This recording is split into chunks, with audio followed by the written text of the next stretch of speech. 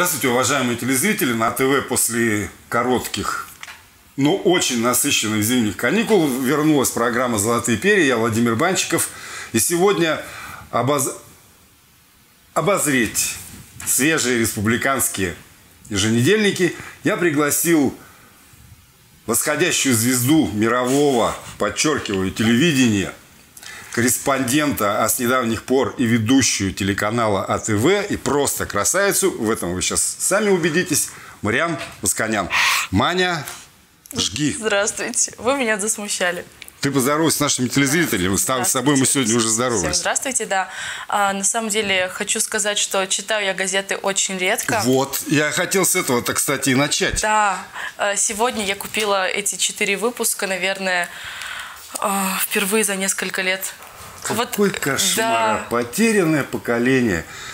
Но ты же с Но... гордостью носишь футболку, где вот такими буквами написано сзади журналиста. Журналистика с чего начиналась? Да, но я все-таки считаю, что сейчас немного актуальнее все-таки соцсети. Ты сейчас всех, ну, газет... есть... всех газетчиков Нет, обидел. Газет... Газетчики молодцы, но просто... Ну, не знаю, это мое субъективное мнение. Хорошо, давай. Um, Хорошо. А, и, и, и поэтому, так как я очень давно вообще не листала газеты, а, немного могу в целом рассказать сначала. Можно? Говори. Рассказывай, вот. как ты считаешь нужно. Мы, получается, купили номер один, Информполис, Молодежку и МК. Все четыре газеты, я заметила такую, не знаю, тенденцию, может, так было всегда, но очень мало новостей то есть много статей про то, что актуально всегда. Допустим, эм, как бороться с бессонницей, или там, что делать, если от тебя ушел муж. Ну, вот такие, знаете, злободневные темы, которые всегда актуальны. Но если вот говорить конкретно про новости, то их очень мало. Эм, больше, наверное, в номер один. Еще я хотела похвалить номер один за то, что эм, у них в номере, сегодня вышел номер, но у них есть материалы, эм, которые появились только вчера вечером в интернете. То есть вчера вечером какая-то новость появилась, и сегодня утром уже она есть в газете. Э, это клево. Не везде это есть. Вот. Ну, начнем, наверное, тоже с, с номера один. Я выбрала здесь статью про зэков. Очень интересная.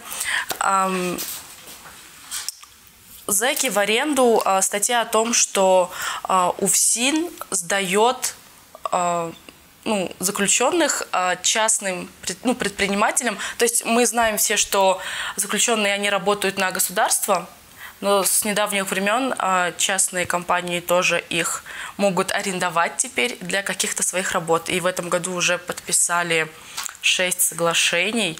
Уже дело дошло до того, что люди хотят создавать общежития, в которых могут жить эти зэки, пока работают в, ну, на, на каких-то людей. Вот, и мне кажется, это очень интересно. Безусловно, интересно. Но когда произносится слово «сдаешь в аренду», да, это как-то мне коробит, потому что это все-таки люди, а да, не конечно. автомобили, не, там, я не знаю, не мебель, не телевизоры, а это люди.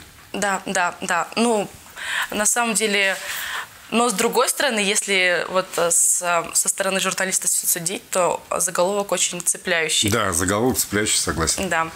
Поехали дальше. Поехали дальше. Информполис. Кстати, тоже Хочу похвалить Информполис за то, что есть, в принципе, очень много статей с такими злободневными темами. То есть, не знаю почему. Перебью тебя угу. на секундочку, да. Я тоже заметил, что они вот буквально с Нового года, они переформатировались, причем достаточно резко, да, на мой взгляд. потому что вот еще буквально недавно, пока я училась в университете, мы очень часто эм, обозревали вот э, газеты, и у меня всегда был такой стереотип в голове, что Информполис – знаю, не в обиду, но это такая желтуха, где больше рекламы, пиара и вот чего-то такого. А, а сегодня я вот посмотрела очень много ну, актуальных тем. Вот, я выбрала статью «Негде жить», потому что, не знаю, меня само это, эта тема очень волнует, потому что А, снять квартиру сегодня действительно очень сложно. А, очень многие мои знакомые, мои друзья с этим сталкиваются. Спрос намного а, выше, чем предложение. Квартир мало, либо они не в пригодном состоянии. То есть здесь очень много, кстати, хочу похвалить журналиста на минус Актуева, очень много комментариев, ну, реальных людей, то есть здесь реальные истории людей, которые рассказывают о разных проблемах. Кто-то сталкивался с крысами, с тараканами, кто-то сталкивался с тем, что их просто ну, разводили на деньги. То есть, Кидают. Да, есть э, агентства недвижимости, которые выставляют объявления якобы за свои, и цену указывают намного ниже настоящей, но люди эти деньги как бы переводят, а в итоге ничего. Учитывая еще, люди пропадают. Учитывая еще мировой тренд такой, мировой, я подчеркиваю, да, что сейчас молодые люди, даже семейные пары, они не стремятся купить жилье, да, да. а именно они снимают, чтобы никому не быть обязанным, смочь там в другое место переехать. Есть угу. такая возможность, если да, и поэтому а, не заморачиваться покупкой там, или строительством собственного жилья. Угу. Есть такой ну, ну и плюс а, в, в этой статье есть а, тоже мнение эксперта, который рассказывает о том, как можно решить эту проблему, то есть создать какое-то одно большое агентство, где будут номера телефонов всех арендодателей, людей, которые ищут квартиры. Ну, то есть что-то одно монопольное, и тогда, может быть, проблема как-то решится. Как-то решится. Да, Мань, давай покороче, потому что время программы у нас все-таки достаточно простите. ограниченное. Все, можно? Поехали вот. дальше. Про животных. МК. МК. МК тоже хочу похвалить за их верстку. Она действительно отличается. Если у других газет она более-менее одинаковая везде, то здесь, э, не знаю, мне нравится, допустим, шрифт тех же заголовков, лидов, э, картинки интересные. Бывают э, какие-то перевернутые. Ну, то есть это все интересно. Вот, я выбрала статью про а, животных. Получается, с 1 января 2020 года а, появился закон, что а, людям больше нельзя контактировать с животными в зоопарках, в контактах в зоопарках, в цирках. То есть, То есть не погладить ничего нельзя? Нельзя, уже, да, все. все нельзя, только трогать. Там есть такой нюанс. Животных можно трогать, если у них есть возможность спрятаться. То есть, если животный... Это мы защищаем таким образом животных? Да. Вот. И получается, журналист Роксана Родионова, она приехала в один из контактных зоопарков, чтобы проверить вообще, соблюдается ли этот закон, ну, начали ли наши контактные зоопарки его соблюдать.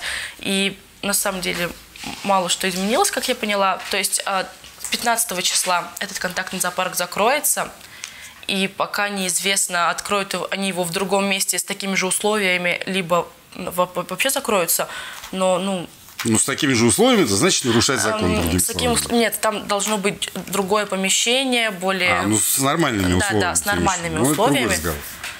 Ну, и вот, мне кажется, интересно. И здесь тоже есть... Здесь э, статья такая больше испытана на себе, то есть она сама прошла и полностью рассказывает про свой Чисто путь. журналистское расследование. Да, да, да. Вот. И последняя газета, которую мы сегодня купили, «Молодежка» сожалению, ничего интересного для себя я не нашла. Не знаю почему. Обалдеть. Это ну, вот большой привет, опять-таки, редакции, моей любимой газеты, я там всех практически знаю, да, но чтобы вот э, молодежка не оправдала в этом, в данном конкретном случае своего названия, я был, честно говоря, в шоке, когда ты мне это сказал. Значит, ребятам есть над чем работать. Ну, о да. чем думать? Ну вот, не знаю, может быть, более-менее интересно это новог... итоги новогодних праздников, но сегодня уже 15 число, и как-то эти итоги уже давно всем были известны, поэтому для меня это не актуально, и, и действительно, ну, я не знаю, ничего интересного для себя я не нашла. Хорошо. К сожалению. Ну, то есть, э, конечно, это плохо, но, но с одной стороны. Но с другой стороны, это будет таким неким толчком для редакции, да. для всего коллектива. А то, что вот поколение ваше, поколение юношества, я бы сказал, да, не нашло в газете «Молодежь Бурятии» для себя ничего интересного. Мань, огромное тебе спасибо. Ты, как всегда, умница и молодец. И твое будущее я уже озвучил и предрек. Уважаемые телезрители, я напомню, что сегодня свежие республиканские еженедельники прочитала, очень внимательно изучила наш корреспондент Мариам Восконян. Я Владимир Банчиков. Прощаюсь с вами. Всего вам самого доброго. Увидимся через неделю.